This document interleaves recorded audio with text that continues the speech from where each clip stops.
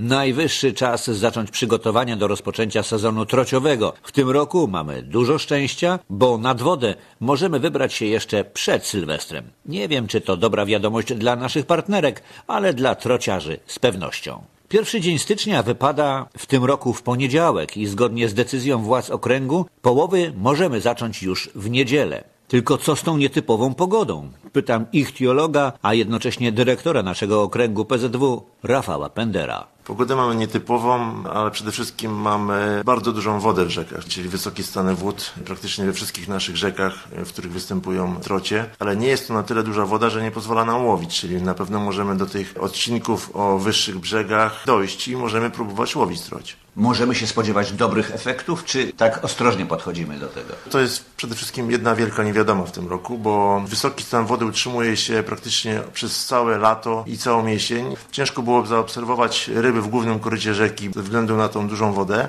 ale obserwowaliśmy sporo tarlaków, które przystąpiło do tarła w dopływach, na przykład iny, co świadczy o tym, że ryby w rzece są, ale też przez to, że jest tak dużo wody, też one mogły popłynąć bardzo wysoko i są po prostu w górnej partii rzeki. No i temperatura wody jest jednak y, inna niż podczas normalnej zimy. Wtedy mamy mróz, teraz temperatura wody jest dosyć wysoka. Jak na tą porę roku jest wysoka, ale to też może sprzyjać połowom, bo ryby są dzięki temu aktywniejsze, bo jeśli ta woda ma w okolicach zera, to ryby bardzo słabo reagują na, na nasze przynęty, a taka wyższa temperatura, czyli około 4 stopni, to już jest zawsze dużo więcej i pozwala mieć nadzieję, że te ryby będą reagowały. No to powodzenia i do zobaczenia nad wodą.